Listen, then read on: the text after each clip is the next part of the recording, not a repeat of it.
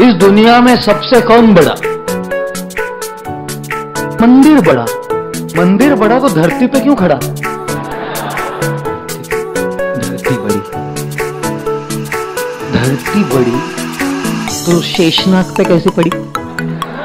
मेरे भाई, शेषनाग बड़ा। शेषनाग बड़ा तो शिव जी के गले में कैसे पड़ा? ये मेरे भाई। शिव जी बड़े। तो शिव जी बड़े तो कैलाश पे कैसे खड़े? मेरे बाप। ठीक है, कैलाश बड़ा।